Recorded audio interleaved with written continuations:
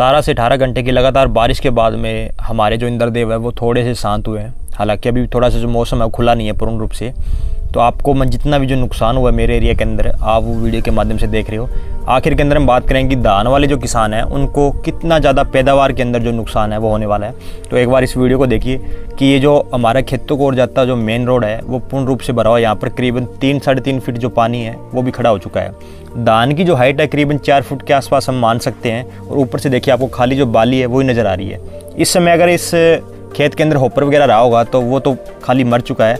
लेकिन अभी भी ये जो दान है, वो अच्छी तरीके से स्ट्रगल करेगा। ये नहीं है कि ये पैदावार में नुकसान देगा। कि दान का जो पौधा है, उसका अगर कोई सा पार्ट अगर हल्का सा ऊपर रह जाता है, उसे सांस लेने में कोई दिक्कत नहीं आती। तब जा कर के वो अपना जो सर्वाइव है, वो कर लेता है। अगर यहीं पर कॉटन वगैरह की फ़सल होती है तो उसमें उखेड़े की जो समस्या है, वो आमतौर पर देखने को मिल जाती है, क्योंकि पानी को ये जो फ़सल है, वो इतनी ज़्यादा सहन नहीं कर पाती। धान इतनी ज़्यादा जो पानी है, वो सहन कर जाता है। अब हम बात करते हैं कि धान के अंदर पैदावार का जो नुकसान है, वो कितना उठाना पड़ेगा। काफ़ी सारे फार्मर है जो व्हाट्सएप पे ये पूछ रहे हैं कि हमारा बूर आया होता जी धान में, वो जड़ चुका है तो इसका मतलब हमारी जो पैदावार है, वो फिफ्टी कम होगी।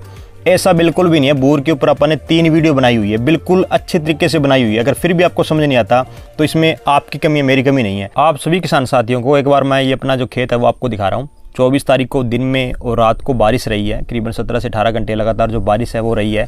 उसके बाद में पच्चीस तारीख को सुबह के दस बज कर के बीस से बाईस मिनट का समय है तो इस समय हल्की सी जो धूप है वो कहीं कहीं दिखाई दे रही है। यानी कि मौसम जो है, बड़ा ही पोलिनेशन के अनुकूल बना हुआ है। तो आप ये देख रहे हो कि जो दोनों छिलके हैं वो खुले हुए हैं और अपना जो पोलिनेशन का प्रक्रिया है या फिर जो मेटिंग का कार्य है वो बली भांति इनका चल रहा है। अब कल अगर मैं सोचता कि बारिश बहुत आई है जी, बिल्कुल बूर जड़ चुका हुआ तो ये जो नया बूर है वो कहाँ से आ गया? बूर ऐसे नहीं जड़ता है तो अपने दिमाग में से ये जो बात आप निकाल लो, अगर अब भी इसको लगा ना पौधे को कि मौसम ख़राब है, बारिश आ सकती है, ये तो नहीं है कि बारिश एकदम से आ जाती है, कुछ एक घंटे पहले, दो घंटे पहले पौधे को संकेत तो मिल ही जाता है।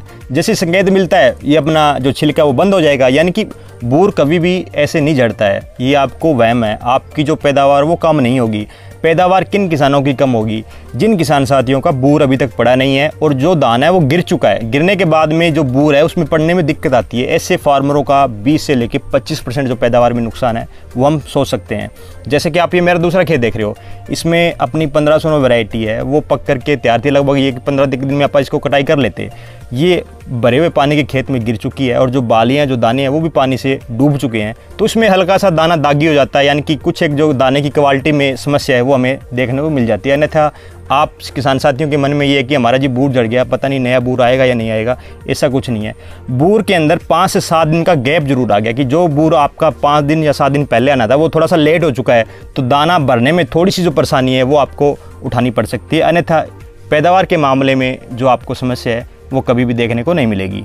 जिन भी किसान साथियों के यहाँ कितना सारा नुकसान हुआ है और कौन सी आपने किस्म लगा रखी थी, कौन सा एरिया है कमेंट के माध्यम से अपनी ये जो जानकारी है, वो साझा ज़रूर करें, ताकि जितने भी किसान साथी है, उनका जो हौसला है, वो बन सके। धन्यवाद किसान साथी।